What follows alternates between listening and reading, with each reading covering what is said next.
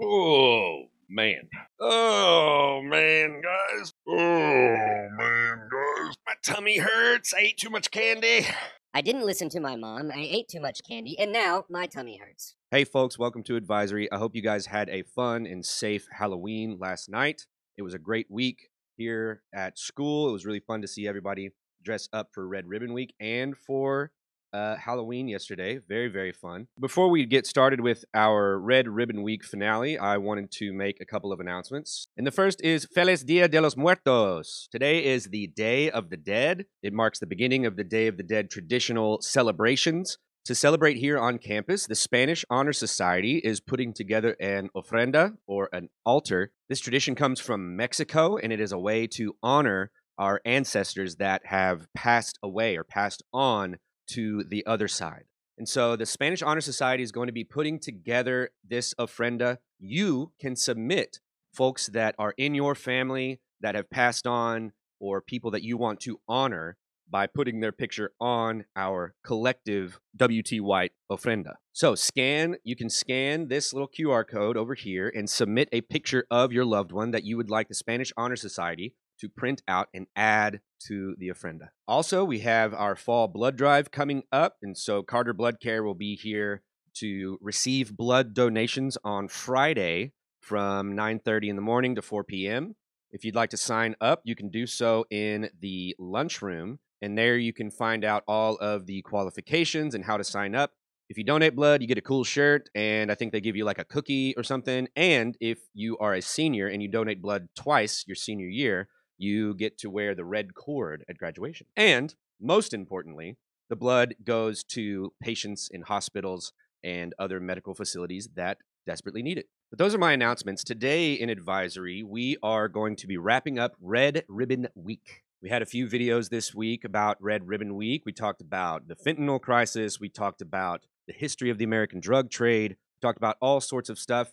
And you all had several questions that you wanted answered in a video. And so that is also what I will be doing in this video. I also had an interview with Nurse Wolf that goes into great detail about the medical side of drugs, especially fentanyl. So here are those questions now.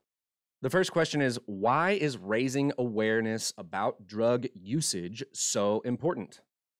That's a good question. Why are we doing this at all? Why do we spend time talking to you about it? Why do we have it every year? And I think raising awareness, at least from advisory or from adults, is important because I think that a lot of times we get information from a ton of different places. And so raising awareness in a way that helps you be smart and safe is really what it's all about for me because otherwise you just get the information from random places on the internet or your friends and sometimes that is not the most reliable source of information. So my goal with this week and what I think the ultimate goal of Red Ribbon Week is is to give you the facts and give you the information that you need to be smart and be safe. The next question, why do people feel the only way to get away from reality is to do drugs? Why don't they stop when they know it may cause problems?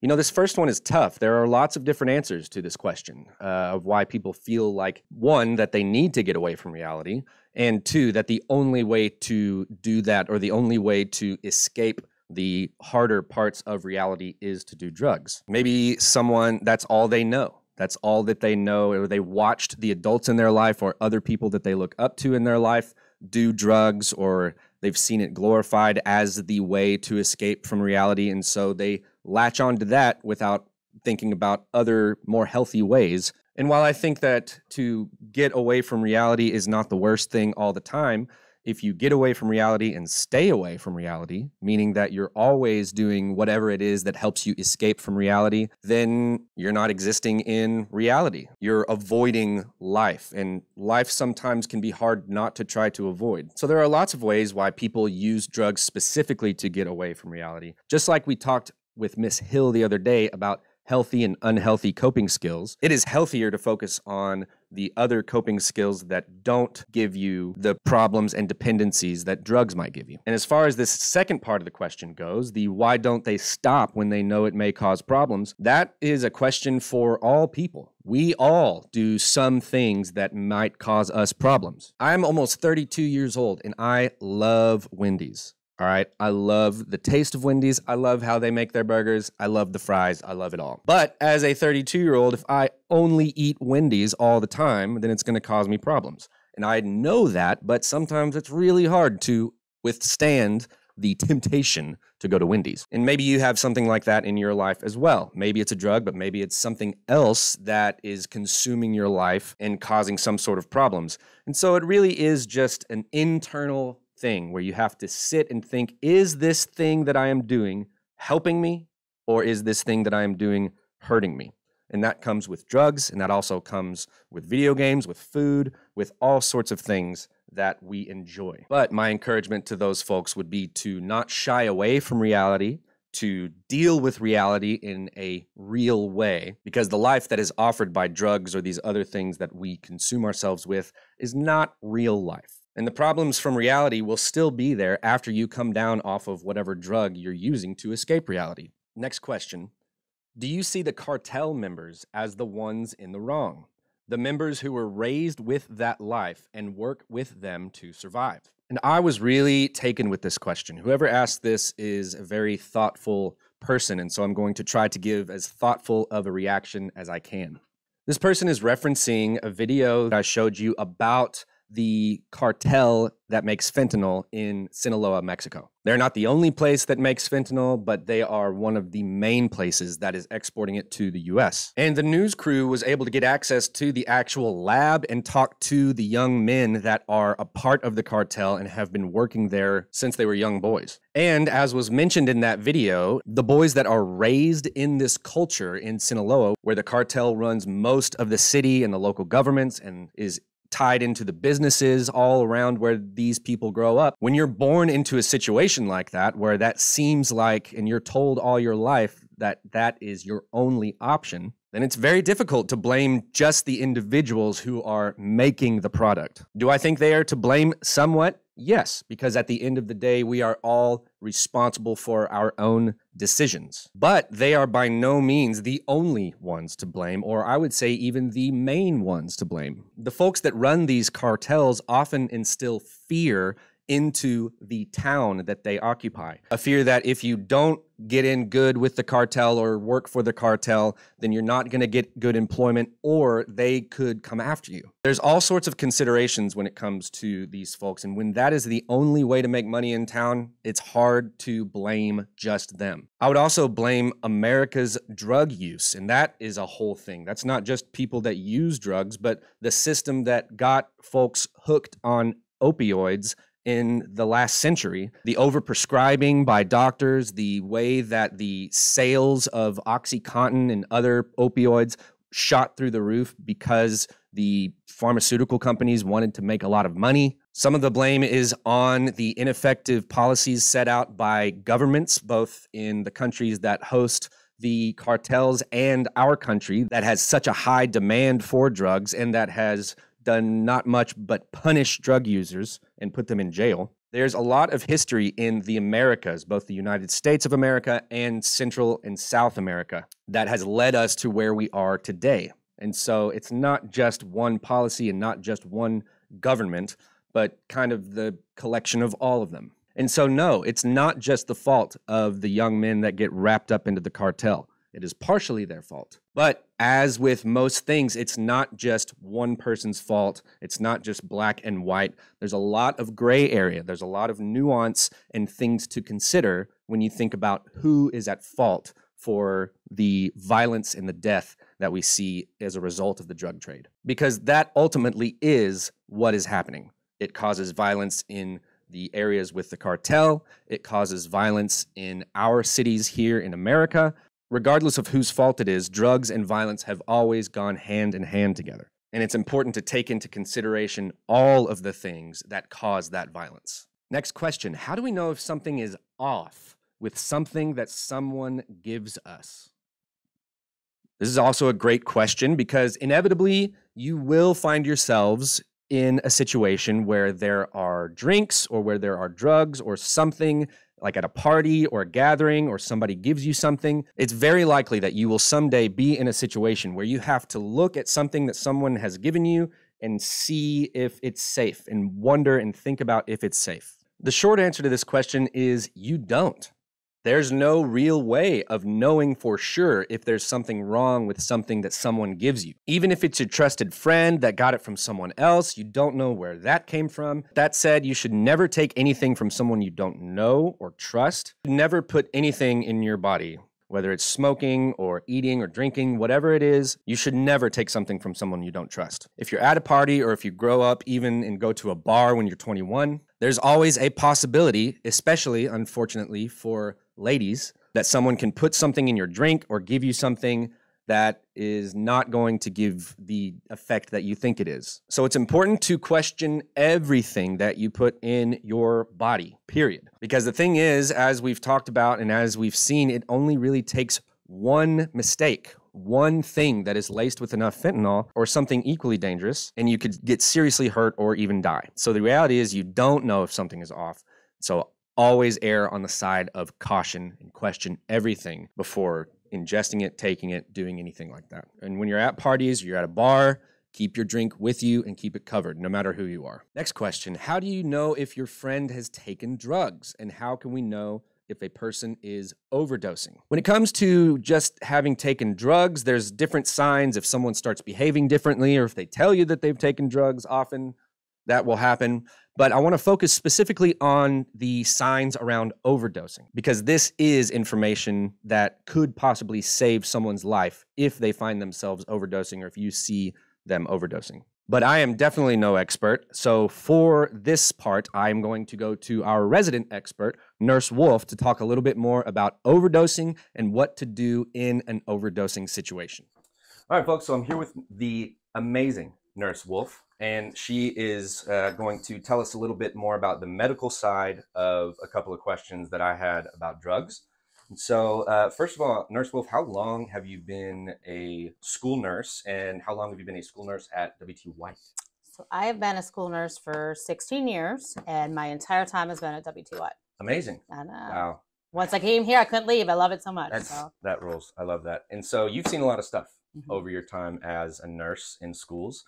Um, so, can you tell us a little bit about the kind of more serious cases, the overdose symptoms and things like that? What does an over what is an overdose and like what does an overdose look like to those of us that don't know?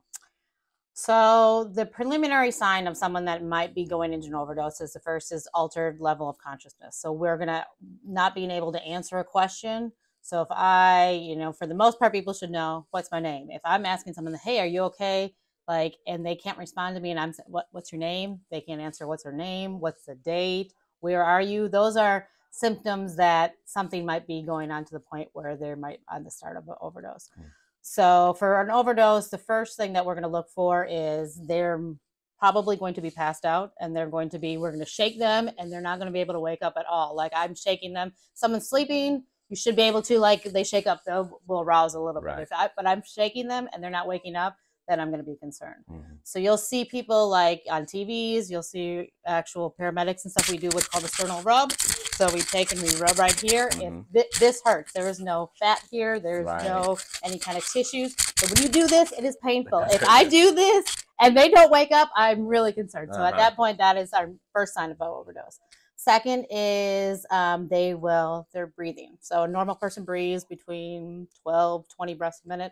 Someone who's overdosing will have very shallow breathing. They will be laying there and they will breathe a couple of times, or they'll do what's called agonal breaths, where they'll be like, Mm, and at that point they're not getting good good air so we know there's another sign um, the third one would be we look at the color of their skin so if someone who's not getting good breath that means their the blood in their body is deoxygenized so they are turning blue so we'll Mhm. look at their face they'll kind of look a little gray tinge.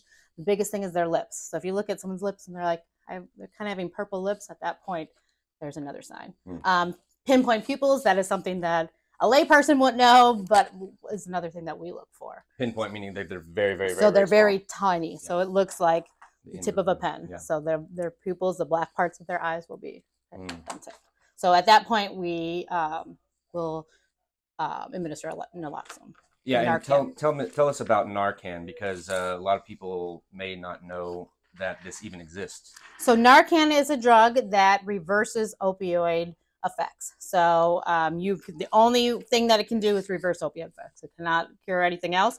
So they give up. The nice thing about it, DISD now is part of a national program. We are trying to get. We have Narcan available in all of our schools, all of our field houses, any DISD location. Um, so we have opioid overdose kits on campus. Um, I carry one. There's also one that is in the AED Mhm. right outside the attendance office, just with our AEDs and our stop the bleed kits. So inside, Narcan, the ones that are for laypersons, Let me zoom in on this. look like a nasal spray. So if you have um, used a nasal spray at all, Afrin, any of that kind of stuff, it is the exact same thing. So you will take the nasal spray, you open up the package on the backside, and you just insert it in their nostril and you give them a squirt. Mhm. So at that point, the only thing it can re, uh, do is reverse op- opioids. So if it's not an overdose, it's not going to have any effect on anything else. Um, So but- if you take it without being on other drugs, it doesn't do something to Yeah. you. Mm-mm. So even it's safe to do if you're kind of wondering whether or not they might be overdosing, but you're not sure. So you can use this even if you're not sure, and it will cover those. Mhm. Cool. hmm Cool. So right now, our nurses, our police officers, we're all trained on it. Our staff now has got um, training, so it is very easy. It is something um, for outside people, students, parents. They can go online. They can do the training. This is available um, now over the counter. You can go to Walgreens. You can go to Yeah. CVS. You can go to um, free websites, and they will send it right to your door. Mhm. Um, so they this will it binds with the opioids that's in your system and um, makes the effect reverses the effects of Mhm. the opioid overdose. Wow. I mean, that's amazing that we even have that capability.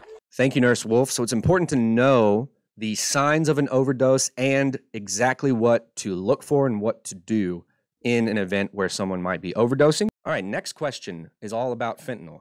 Why do they make fentanyl and how many people die from fentanyl? Basically, the drug cartels have found that making this and often putting it in with other drugs without folks knowing, they can make their drugs that much stronger. And if you can make your drugs stronger for cheaper, then you have more incentive to put more fentanyl into the drugs. It's all about money. That's really what it comes down to. It all is about how can they make the most money possible. And as you can see in that video, a lot of the folks that are involved don't really think about anything other than the fact that it's a job. It makes money. And I don't care who is hurt from it or how many people die from it. So, as far as why they make fentanyl, that is why. As far as the next question, how many people die from fentanyl, I want to go to this set of facts right here, just a short video. Fentanyl is a synthetic opioid that is up to 50 times stronger than heroin and 100 times stronger than morphine. In 2021, 70,601 people died from a fentanyl overdose in the US. That figure is up 25% from 2020 and is nearly double the amount of fentanyl overdose deaths in 2019. Fentanyl overdose deaths in 2021 were over 26 times higher than the decade prior. Since 2012, fentanyl overdose deaths have increased every year. Fentanyl is responsible for more than half of all yearly opioid overdose deaths since 2017.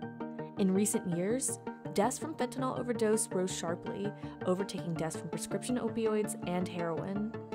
So fentanyl is really scary. So we've always had, you know, uh, when we're having issues with opioids, heroin and stuff, it had to be someone where you had to choose to ingest it. You had to actually do it. Fentanyl's one that can be ingested through the skin. Mm. So if you think that, uh, you know, a lot of people overdose because they think they're getting an oxycodone and instead it's laced with fentanyl. So if you go and you touch fentanyl, I can touch, I can get uh, a reaction and have an overdose, and it can go into my system just by touching it. Mhm. So that's really scary for um, users. It's scary for healthcare professionals because again, we, if we go and grab a drug when we're not wearing um, gloves, we can actually have that uh, in our system. So fentanyl is used as a sedative. It is used normally in the hospital setting. It is to put you to sleep. When you're going into a surgery, you get a fentanyl drip, or you're in a coma, they put you on a fentanyl drip to keep you sedated, keep you monitored. Fentanyl, you don't know how much is in it. So a lot of times someone might think that they're taking an oxycodone pill or they think they're taking a Xanax pill or they're taking something, but they don't know they haven't got it from an actual prescription bottle Mhm. and is laced with fentanyl and in one dose one dose can kill you.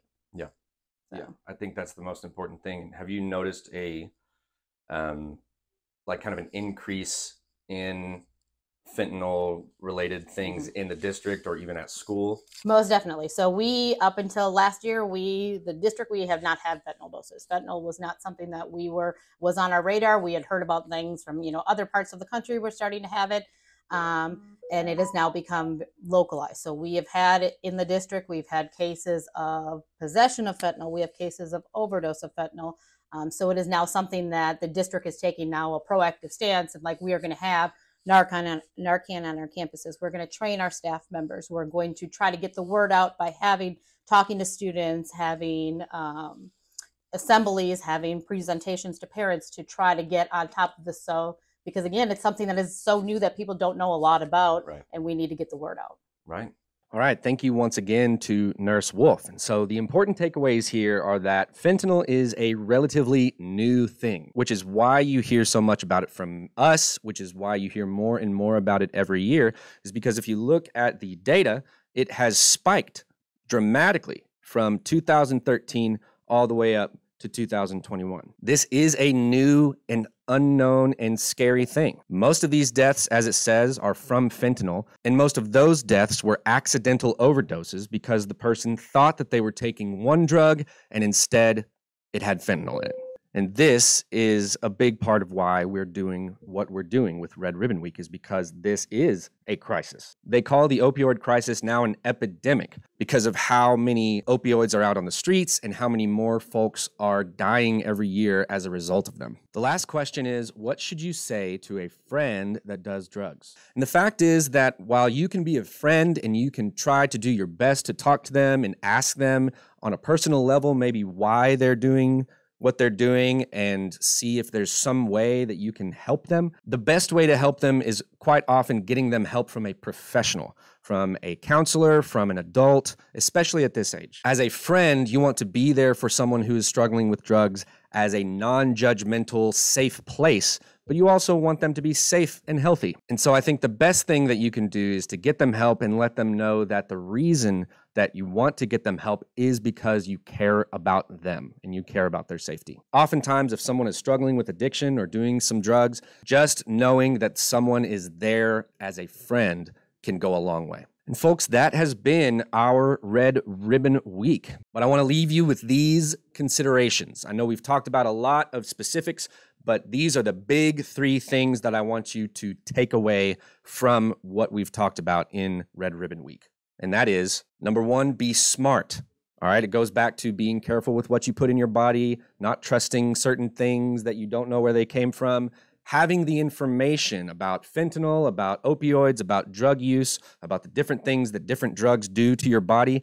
That is what being smart is. If you go into doing drugs or some sort of drug situation without this knowledge, the risk of you getting hurt or even killed goes up dramatically. So before you get involved with anything, think and be smart and be intentional with what you're doing. Number two is be safe. This has everything to do with being careful with where you're getting things that you take, how you're taking them, what you're doing, how often you're taking them. Being safe also involves not getting behind the wheel when you are in any way inebriated on drugs or alcohol. Being safe means thinking about not only your own safety, but the safety of those around you. And number three, think about the future. Somebody asked earlier why people use drugs to get away from reality. And another answer to that question is immediate gratification, meaning that someone ta- that takes drugs knows that they will get a good feeling right now out of that drug that they are taking. If we get used to taking drugs as a coping mechanism, then oftentimes that immediate gratification that we feel